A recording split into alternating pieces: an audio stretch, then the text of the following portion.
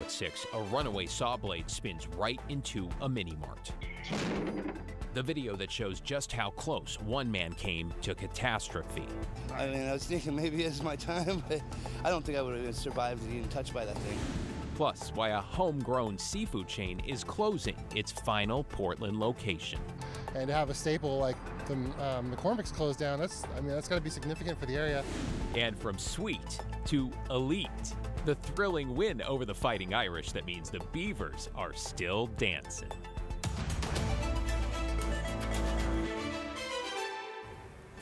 A very good evening, everyone. We begin at 6 with new developments involving a four year old boy whose body was found Thursday evening outside of Everett, Washington. It turns out the boy's mother was arrested Wednesday in Clark County, the same day he was reported missing, and has now been charged for giving a false statement to police. We're going to walk you through the details here. Authorities say four year old Ariel Garcia was last seen Wednesday morning in Everett with a family member. Court documents now indicating his mother Janet drove south to Ridgefield on Wednesday. Deputies say they were called to a home where Janet was not wanted and during questioning observed she had blood on her shoes and shirt. Records say Ariel's mother told investigators her son had fallen and hit his head and she had taken him to a friend's house in Seattle. We want to be clear, Janet Garcia has not been charged in her son's death at this point, though Everett police confirm they are investigating it as a homicide. As far as we can tell, she remains in custody. We'll keep you updated right here and at KGW.com as we learn more. To new information tonight, also in Clark County, where a husband who was arrested for allegedly hiring a hitman to kill his wife made a court appearance this afternoon. John Adams joins us live in Vancouver with the very latest. John?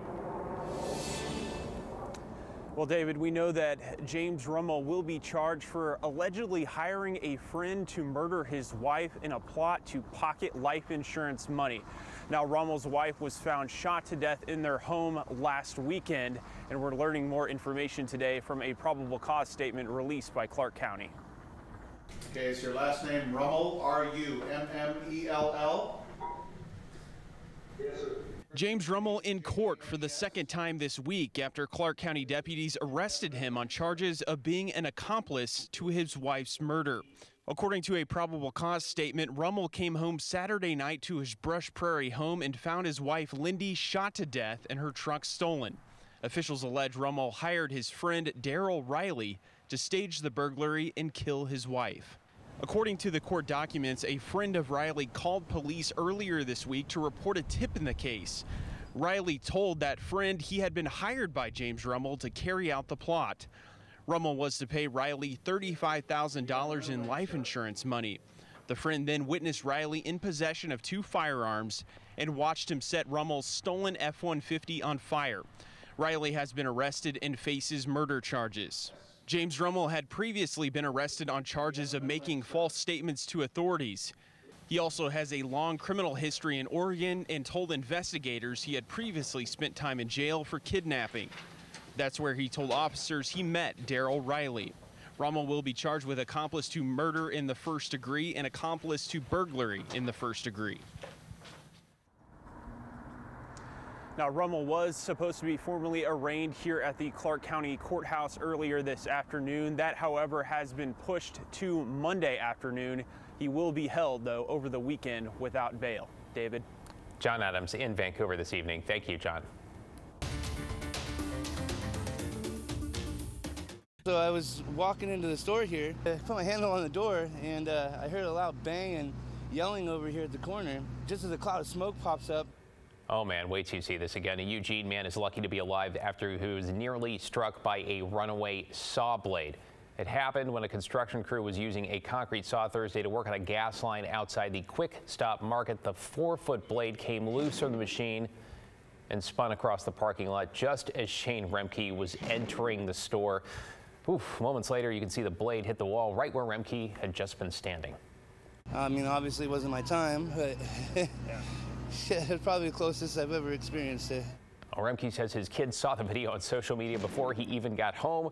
They were all hugs and cries. Northwest Natural Gas told our news partner KEZI that the contractor at the site is responsible for the mishap. That person's been removed from the project while the company reviews the incident. Just glad everybody is okay. Wow.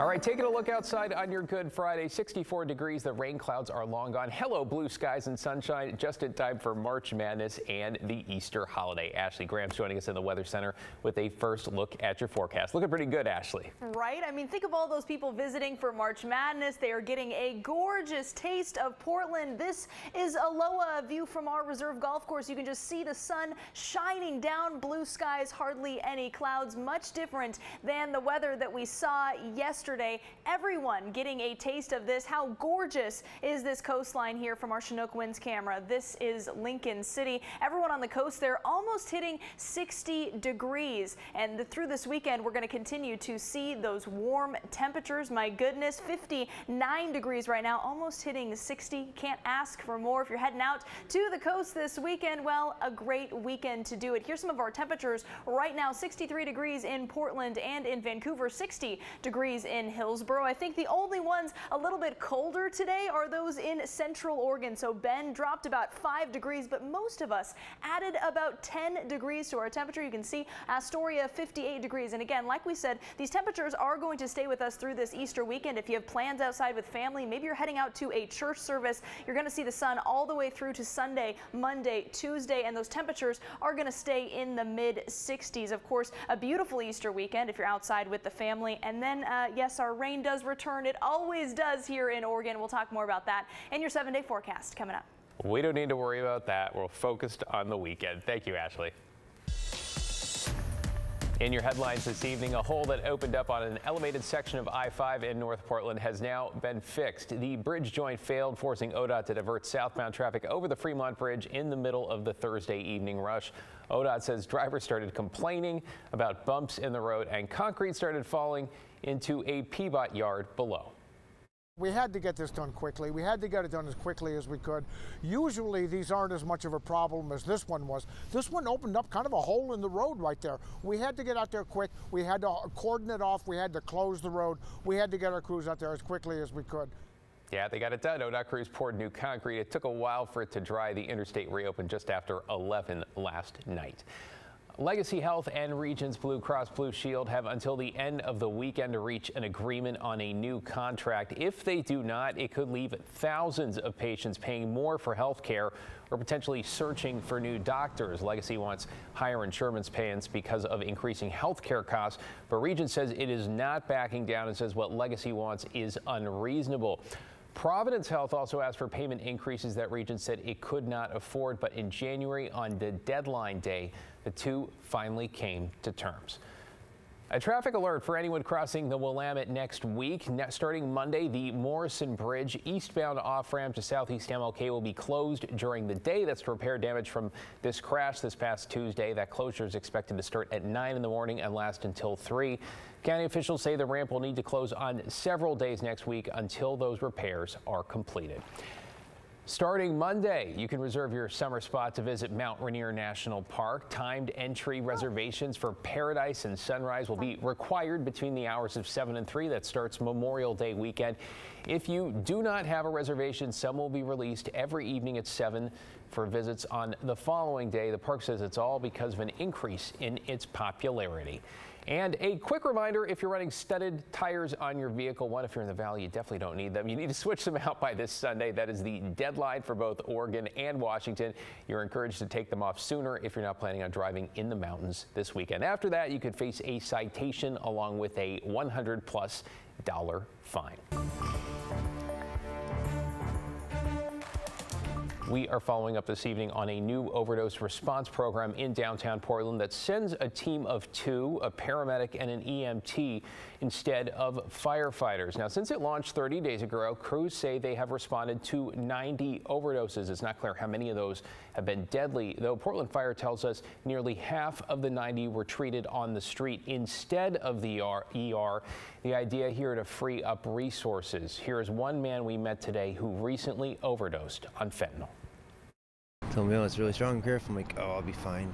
And then smoked big two big hits of it and woke up with paramedics around me. We are doing everything we can to meet the people in the street where they are and provide them a pathway out.